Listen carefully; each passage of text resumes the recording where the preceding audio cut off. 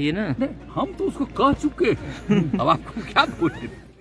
क्या घटना होगी महाराष्ट्र जो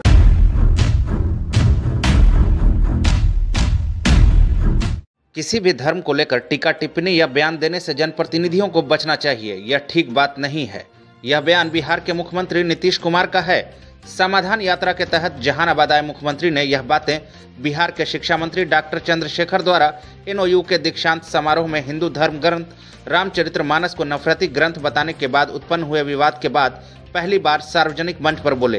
हालाँकि पत्रकारों द्वारा महाराष्ट्र की तरह सरकार बदलने की बात हँसी में उड़ा दी और बताया कि महागठबंधन में सब कुछ ठीक है। मुराद उसको देखने के बाद सुझाव दे देते हैं कि उसको क्या करो तो राम राम राम समाधान यात्रा पे कंट्रोवर्सी रुकने का नाम ही नहीं ले रहा है। नहीं नहीं नहीं वो सब फालतू चीज़ है। कोई भी धर्म के मामले में किसी तरह का किसी को हस्तक्षेप हिंदू मुस्लिम सिख ईसाई कोई भी धर्म किसी भी मामले में किसी को इंटरफेयर नहीं करना चाहिए सही बात नहीं। वो तो हम इसको मानते ही नहीं है जिसकी बात आप कह रहे हैं। तो लोगों पर करिए। तो कही दिया है ना। सब बात नहीं सर बयानबाजी जो चल रहा है। कोई चीज़ करना ही नहीं चाहिए बात। जिसको जैसे मन करता है वैसे पूजा करता है जैसे करता है। उसको हस्तक्षेप क्या? आपको जैसा मन करे वैसे पूजा करिए।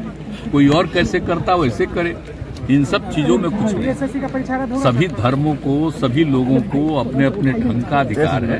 उसमें कोई हस्तक्षेप नहीं करना चाहिए। कोशिश करना चाहिए कि आपस में किसी भी तरह का विवाद न हो। तो आप जानते हैं ना यहाँ हम लोगों ने कितना आपस में हम लोगों ने कोशिश की है कि विवाद कितना न के बराबर है। हम लोगों ने तो कोशिश किया है। लेकिन अभी सब चीज़ कोई सुन ले किसी भी धर्म के मामले में कोई भी चीज़ कोई बोलता है तो हमको नहीं ठीक लगता। हम ये सब में नहीं इंटरफेयर करें मंत्री जी को अपनी बात वापस ले लेनी चाहिए ना। हम तो उसको कह चुके हैं। अब आपको क्या बोले कह चुके तो मंत्री जी वापस तो- नहीं ले रहे हैं। तो उनकी पार्टी के तरफ़ से भी कह दिया है ना तो सब ठीक है। ये सब पर मत ज़्यादा चर्चा अलायंस में सब कुछ ठीक है सर। सर अलायंस में सब कुछ ठीक है। कोई बात नहीं। कोई इंडिविजुअल बेचारे को कोई दिमाग में बात आती है। मतलब है कोई अलायंस में और पार्टियों में किसी तरह की कोई बात लेकिन भाजपा के एक सांसद बोल रहे हैं कि महाराष्ट्र वाली घटना यहाँ होगी जल्द ही। क्या घटना हुई महाराष्ट्र में? वो जो रातारात सरकार बदली थी वहाँ रातों रात तो बड़ी खुशी है। बड़ी खुशी है उनके लिए अपना खुशी मनाइए। बिहार में ऐसा कुछ नहीं होगा। सर लेकिन